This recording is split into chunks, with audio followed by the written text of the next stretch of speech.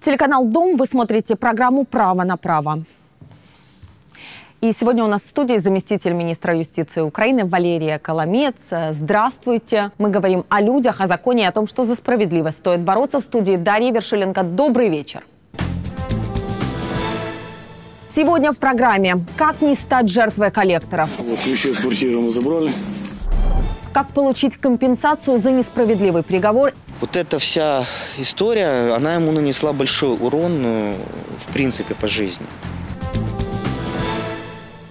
Подполковника СБУ подозревают в финансировании террористической организации на неподконтрольной Украине территории. Об этой и других новостях в нашем дайджесте.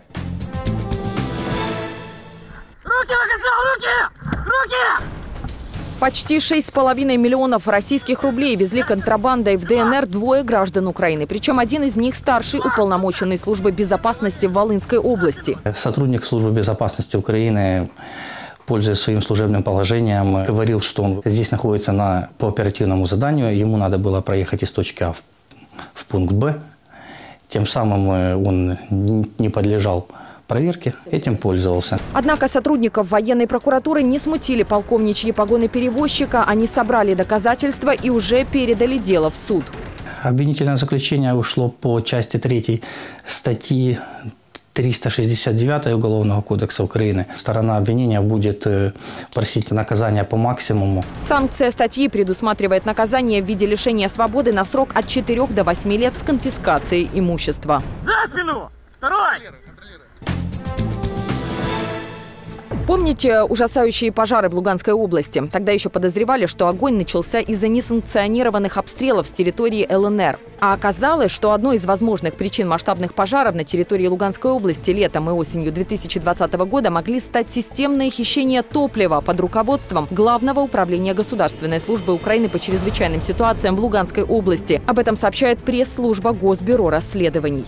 За результатами проведення слідчих дій встановлено, що протягом тривалого часу у структурних підрозділах головного управління проводились маніпуляції з пробігом спецтехніки, для чого використовувалися спеціальні засоби для корекції одометрів автомобілів. Так завищувався їх реальний пробіг, а паливо розкрадалось. В результаті не було сформовано належний резерв паливно-мастильних матеріалів. Тому спеціалізована техніка для тушіння пожеж не змогла вчасно виїхати до місць займань, що не дало можливості їх оперативної локалізації. Лесные пожары в Луганской области начались 6 июля и были ликвидированы 11 июля. Они охватили площадь более чем 100 гектаров и уничтожили часть сел. Погибли 7 человек. Второй раз пожары начались 30 сентября и были ликвидированы 8 октября. Сгорели более 20 тысяч гектаров, погибли 11 человек и 19 были травмированы. Досудебное расследование в уголовном производстве осуществляется по факту должностной халатности, повлекшей тяжелые последствия. Часть 2 статьи 367 Уголовного кодекса Украины.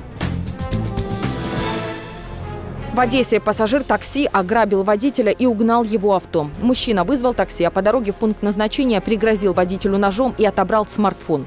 Злоумышленник вытолкал мужчину из салона и угнал машину. Пострадавший вызвал полицию. Похитителя нашли в течение нескольких часов. В его доме обнаружили украденный мобильный телефон, ключи от автомобиля и документы на него, а также нож, пистолет с патронами и другие доказательства преступления. А вот спрятанный им автомобиль разыскали на окраине города. Зараз дії правопорушника кваліфіковують як розбій, незаконне заволодіння транспортним засобом та незаконне поводження зі зброєю. До обрання запобіжного заходу він перебуватиме в ізоляторі тимчасового тримання. Угрожают расправой, отбирают имущество и превращают жизнь в сущий ад. Если вы по каким-то причинам вовремя не выплатили кредит, рискуете стать жертвой настоящих бандитов. Хотя официально так называемых коллекторов в Украине нет, все возможные финансовые компании, которые скупают чужие долги, методично терроризируют заемщиков. А по сути занимаются вымогательством и запугиванием. Как не стать жертвой коллекторов в нашем следующем материале.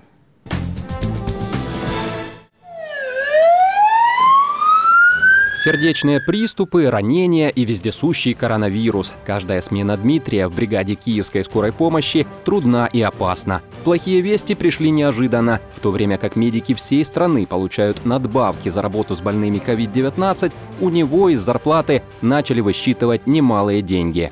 Учитывая скоропомощную зарплату в принципе, мне звонят наша, наша бухгалтерия, Дима, у вас там то-то, то-то, у вас э, пришло письмо, уведомление, что с вас должны снимать э, зарплаты, 20% штраф туда-сюда. А какая сумма? 51 тысяч. Всему виной кредит, взятый Дмитрием 8 лет назад на небольшую сумму в 10 тысяч гривен. Банк, с которым заключал договор, лопнул. Что делать дальше, не знал. Где-то через полгода мне позвонила какая-то фирма. Банк продал ваш договор нам. Мы теперь имеем право на то, чтобы взимать с вас кредит. Я им говорю, предъявите мне документы. Вот, ну, что вы имеете право. Приезжайте к нам в офис, мы вам предъявим. Ну, я так пробил где-то адрес. Приезжаю, все закрыто, офиса как такового нет. Вообще потом назвали Харьков. Они э, звонили, звонили, звонками меня долбали, долбали, долбали. Я им сказал, извините, ребята, идите вы знаете куда, я вам платить не буду, а вдруг вы просто хотите с меня там какие-то мошенники, мало ли. Звонки прекращались и возобновлялись по новой. В трубке менялись названия компаний. А закончилось все тем, что на работу к Дмитрию пришло уведомление от исполнительной службы, на основании которого с медика теперь высчитывают около 5000 гривен ежемесячно. Деньги идут в пользу такой себе финансовой компании City Gold. Организация зарегистрирована в центре Киева, но наша попытка ее разыскать оказалась безуспешной. По указанному адресу находится кадровое агентство. Ни о каких кредиторах здесь и не слышали. Кто требует долг, почему он в пять раз больше первоначальной суммы и насколько это законно, мы с Дмитрием идем разобраться Центр бесплатной юридической помощи Министерства юстиции Украины. А пока... Так называемые коллекторы в Украине часто переходят границы дозволенного. В случаях, когда долг серьезный, вооружаются помощью черных нотариусов и перерегистрируют жилье заемщиков. Приезжают э, ребята спортивной внешности, человек 10-15, э, показывают э, этот вытяг полиции, который они сами могут вызывать, вот, что якобы они являются же новыми хозяевами да, этого имущества. Вот, и проводят э, выселение, незаконное выселение граждан Подобные действия без решения суда незаконны, но выбивателей долгов, а по сути преступников, это не останавливает. Если человека нету дома, они высверливают замки, ставят свою сигнализацию. Дальше вещи у людей пропадают, пропадают деньги, драгоценности, какая-то электроника. Обалдеть. Сережки. Бриллиантовые украли, представляешь? Вещи это они поскладывали? Это они поскладывали, да. Обалдеть. Высокий парень, ну, Катю не пускал он сюда. Я вот так отпихивал, мне вот так вот, ну, если вот так вот. Ты сейчас дернешься, я тебя завалю здесь. Случаях попыток незаконного проникновения в ваш дом следует незамедлительно вызывать полицию. Благодаря своевременному реагированию недавно удалось, например, отстоять жилье киевлянки в Соломенском районе Киева. Работает полиция. Сейчас коллекторов забирают в Соломенское РОВД. Вот, вещи из квартиры мы забрали. Бдительны и сами правоохранители. В столице этой осенью полицейские накрыли два незаконных коллекторских колл-центра. Мошенники звонили даже людям, которые не имели ни малейшего отношения к долгам. Сейчас подозреваемым грозит до 8 лет за решеткой.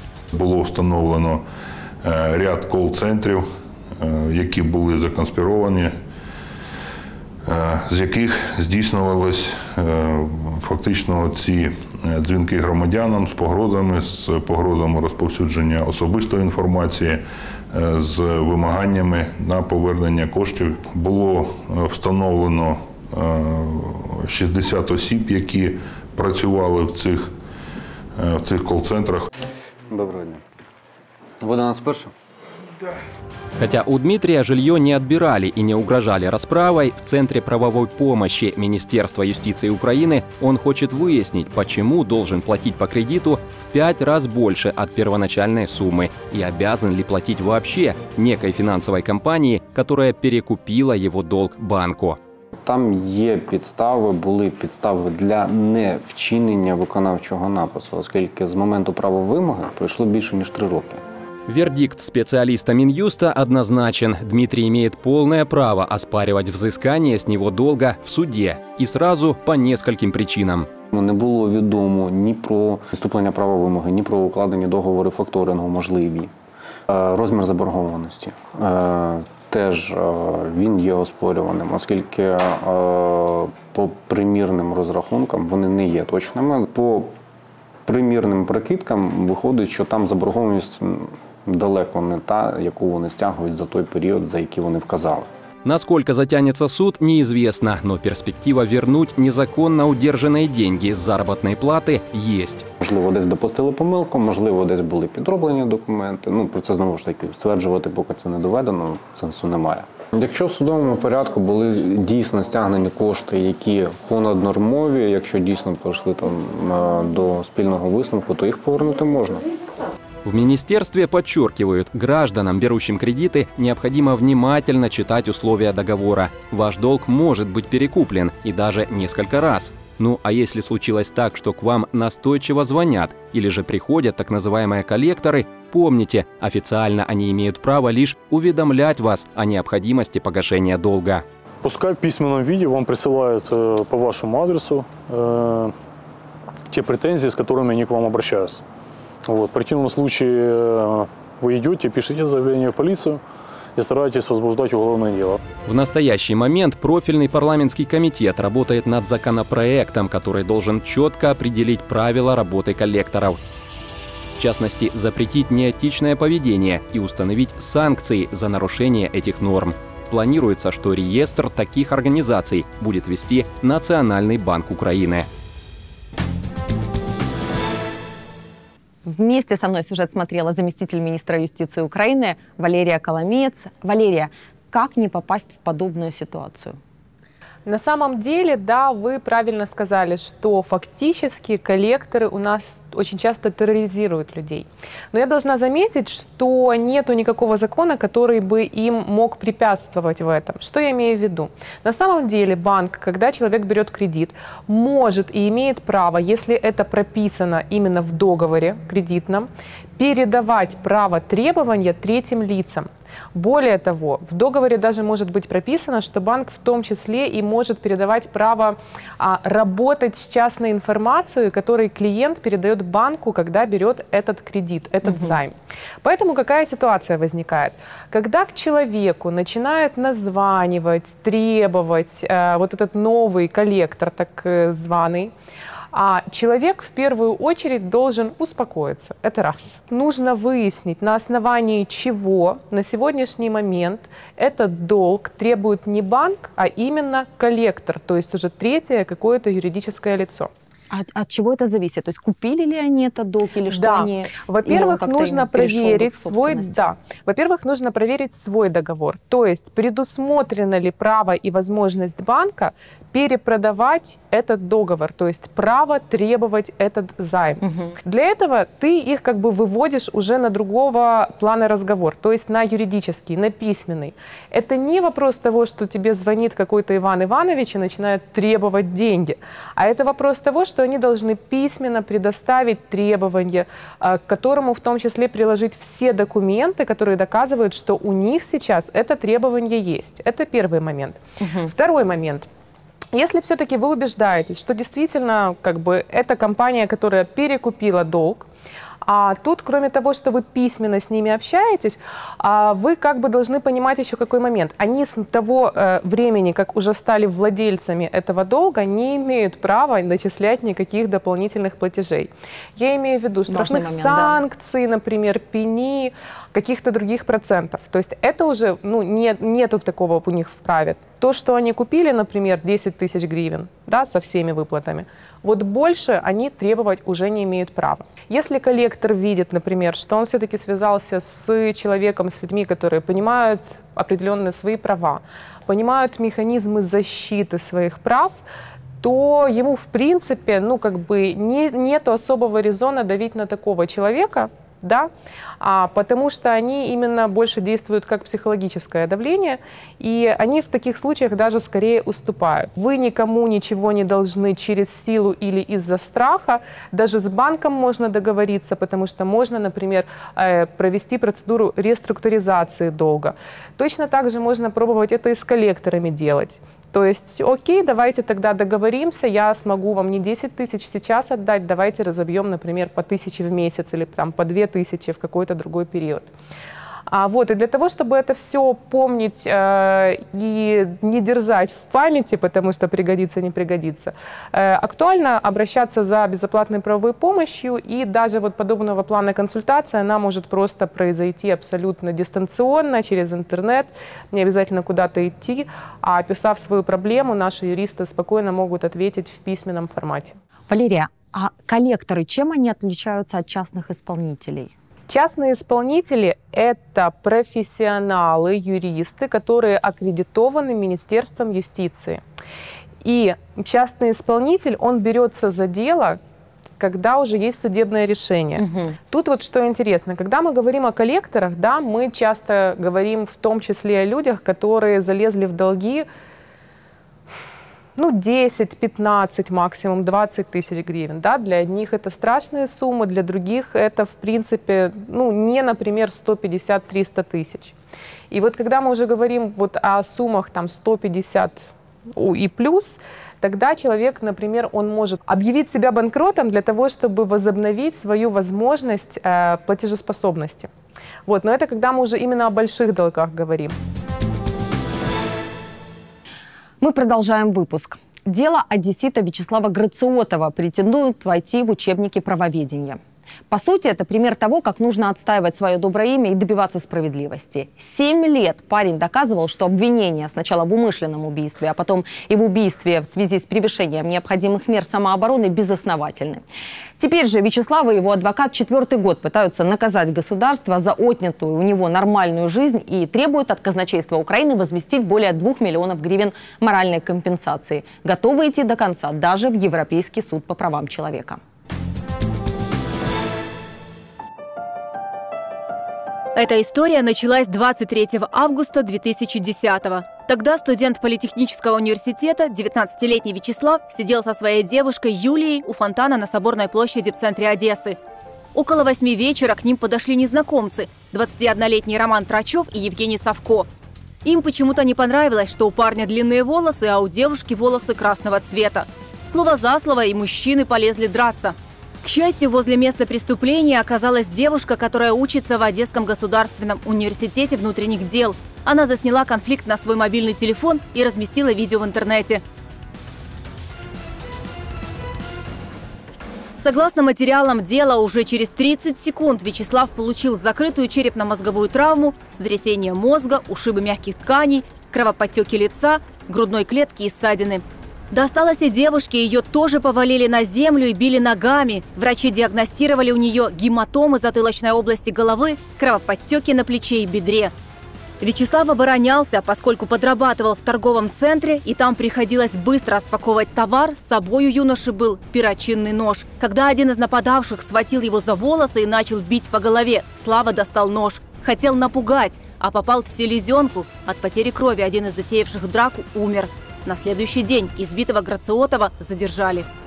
На тот момент его подозревали в нанесении тяжких телесных повреждений, повлекших смерть. То есть часть 2 статьи 121 Уголовного кодекса Украины. На тот момент суд а, посчитал возможным избрать для него меру пресечения содержания под стражей, несмотря на ну, достаточное количество очевидных э, доказательств того, что э, человек находился в состоянии необходимой обороны. Адвокат Грациотова утверждает, с момента задержания его подзащитному шили дело об убийстве. Он все время находился не в изоляторе временного содержания, где хотя бы прилечь можно по-человечески, а в отделе на скамеечке, прикованные наручниками. Вот. При этом ему, 19-летнему парню, а, значит, э, подходили периодически оперативные сотрудники, давали там подзатыльники и говорили, давай признавайся, пиши явку с повинной, э, и там все будет у тебя в жизни хорошо. Вячеслав таки подписал явку с повинной. Его обвиняли по 121 статье Уголовного кодекса Украины – нанесение тяжких телесных повреждений, повлекших смерть. Суд отправил избитого парня под стражу.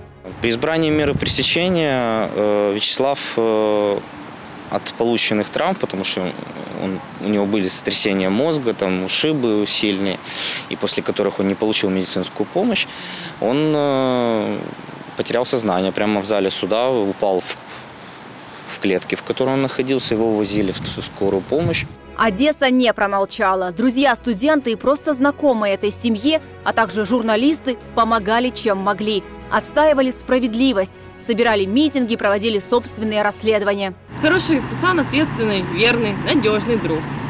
Так что все считают, что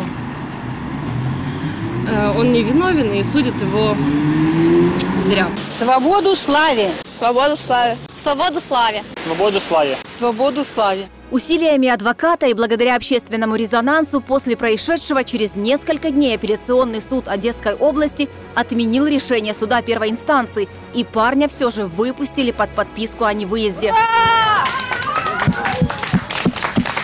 С тех пор и начались семь кругов ада, семь лет беспрерывных судовых процессов. Если изначально Вячеслав обвинялся в умышленном нанесении тяжких телесных повреждений, а это 10 лет за решеткой, то потом статью изменили на превышение пределов необходимой обороны. Это до двух лет тюрьмы. Вячеслав доказывал, у него не было намерения убивать. Он защищал свою жизнь и свою девушку. Единственное, что должен был бы сделать орган полиции и прокуратура, это закрыть уголовное производство в отношении Вячеслава Грацота с отсутствием состава преступления. Но сделать они так не могли, потому что он уже посидел в следственном изоляторе, потому что он незаконно держался в районном отделении ну, милиции. Но судебный маховик был уже запущен. Я ограничен, у меня подписка о невыезде, я не могу никуда выезжать из Одессы, из области даже. Вот. И если мне даже куда-то нужно выезжать, то это весьма проблематично. Являться вот сюда вот на заседание. Естественно, ему это мешает, и нормальную как бы жизнь человек тоже, он же нервничает, и каждый поход в суд – это неприятная процедура.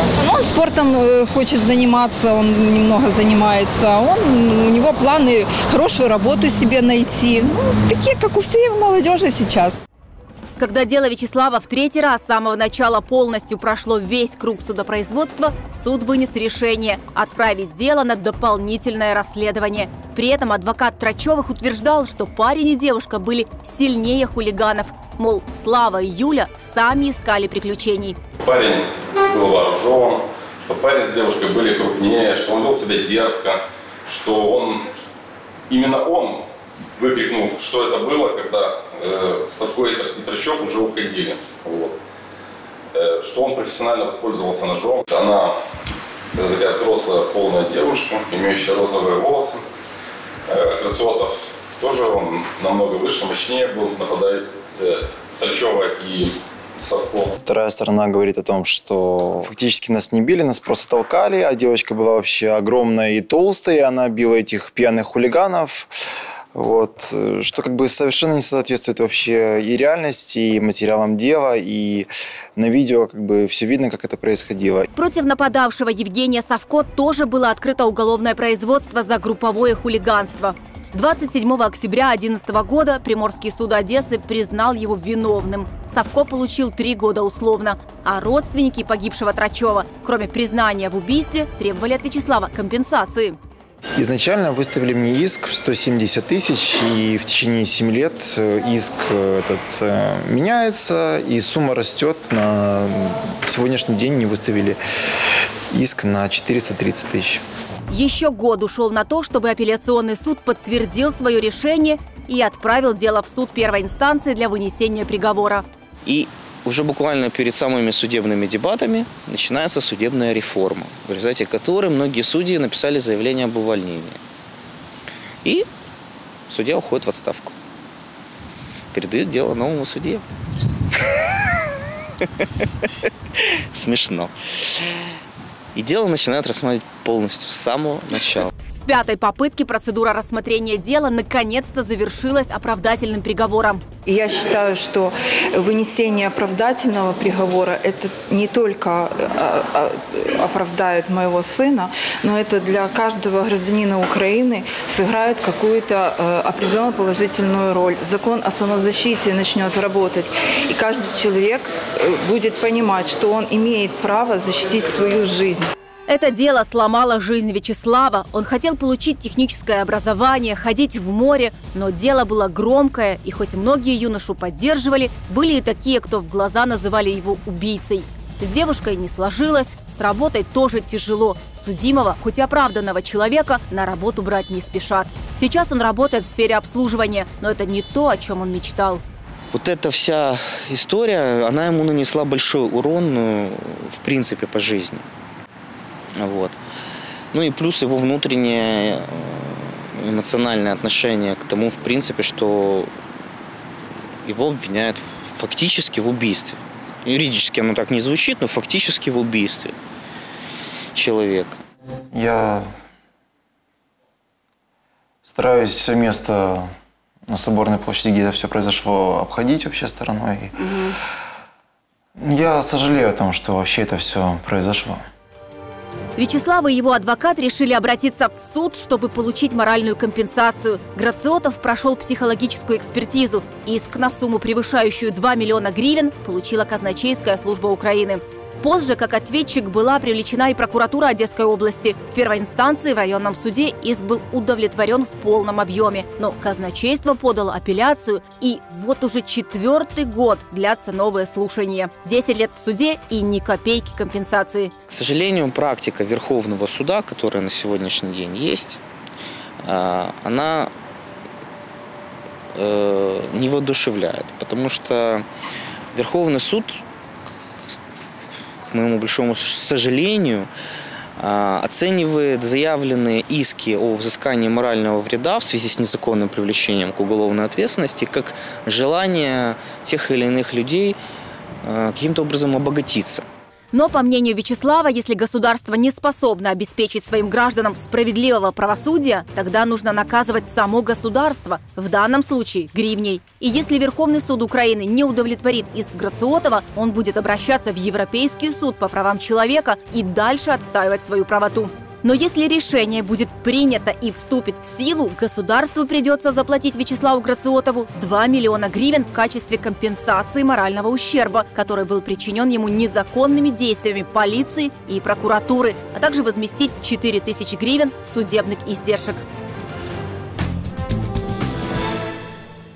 Валерия, 10 лет суда, и это еще не конец. Есть ли какие-то сроки рассмотрения подобных дел?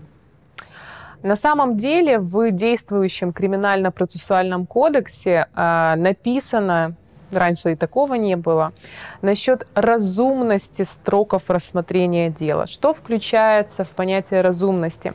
Это в том числе и э, сложность, тяжкость, поведение участников, потому что, например, ну, некоторые участники специально затягивают рассмотрение угу. дел, и сопутствующие определенные факторы, в том числе и то, содержится человек под стражей или нет, потому что именно подстражные дела должны слушаться всегда быстрее всех остальных, ну и, в принципе, судьи всегда ставят их в приоритет именно потому что понимают, что не может человек без приговора пребывать под стражей долгие годы, как у нас, в принципе, к сожалению, это раньше было, и сейчас ну, все равно иногда продолжается. Ну, разумные сроки, это такая формулировка очень обтекаемая, Она, да, обширная. она очень обтекаемая, но объективно говоря, как мы видим, опять же, закон не очень рабочий. Почему? А, еще 4 года других он уже судится за то, чтобы эти деньги все-таки забрать. Раз. Второй момент. Окей. Может ли он обратиться, например, в тот же суд, когда вот сейчас бы против него это криминальное производство длилось, и явно, ну, уже все разумные строки э, э, уже закончились. На самом деле нет, потому что, опять же, четко указано, в каких случаях человек может обратиться в суд. И получается, что вот если, например, криминально-процессуальный кодекс говорит, ну да, если, например, э, все-таки слишком долго слушается дело, то ответственность какая-то там будет. А закон ну, он как бы не предрасполагает к тому, не рассказывает, каким образом эта ответственность наступает и каким образом вообще человека а, можно э, как бы к этой ответственности привлечь. Поэтому и в том числе, вот, например, мы сейчас разрабатываем э, план действий к национальной стратегии по правам человека на следующие три года. Это документ, который действовал уже пять лет, и сейчас мы просто обновляем именно этот план действий. И в том числе там у нас прописано в одном из первых пунктов, это то, что мы как раз хотим внести изменения в этот специальный закон, который предусматривает ответственность за то, что, а, например, э, какие-то процессуальные лица, я имею в виду следователь, прокурор, к примеру, принимают решения, которые в результате э, приводят к нарушению прав человека. Там, я думаю, что мы уже как раз вот такие вот моменты тоже предусмотрим, чтобы все-таки это была не просто констатация факта, а чтобы действительно э, могло государство определить, кто же был виновен, чьи умышленные действия привели к тому, что человек годами, и это на самом деле не единственный такой случай у нас в судебной системе, доказывает, что он не виновен, а потом еще более того, он не может возместить ущерб, который ему был нанесен. А вот в данном конкретном случае Получит ли этот человек компенсацию или все-таки ЕСПЧ это единственный выход для него? А Европейский Союз, он уже как бы такие беспрецедентные к нам а, какие-то методики э, применяет. применяет, да, потому что мы выходим полностью за рамки всего дозволенного насчет неисполнения решений наших национальных судов. И мы поэтому, кстати, вот Министерство юстиции очень активно сейчас этим занимается. У нас есть специальная комиссия, а, и мы в том числе смотрим, почему вот на самом деле люди, когда вот не исполнялись решения национальных судов, обращались в Европейский суд по правам человека. Мы, да, базово разделили, например, на блоки эти вопросы. И сейчас будем это все, ну, будем, мы сейчас уже фактически решаем это все именно вот поблочно. Например, здесь там зарплаты не смогли забрать. Почему? Давайте тогда менять законодательство. Здесь общем, там еще чего-то. Огромный-огромный поток работы. Да, неиссякаемый неиссякаемый. Валерия, вам спасибо за беседу. А зрителям нашей программы я напоминаю, что у нас есть э, бесплатная горячая линия. Мы оказываем правовую помощь. Право, собачка, канал Дом ТВ. Мы сделаем все, чтобы вам помочь.